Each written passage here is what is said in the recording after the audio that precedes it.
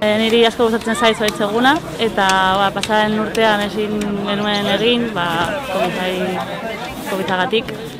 Ba, aurten animatu gara, ba, pues, uste dugu zuaitzak landatzea oso importantea dela.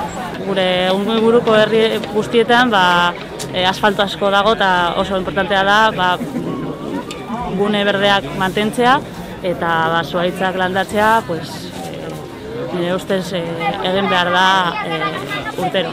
Natura mantentzea eta bueno, e, egun hauek egitea oso ona da ba, herritar herritarrei ba, e, naturaren e, garrantzia e, ba, nolabait e, erakusteko.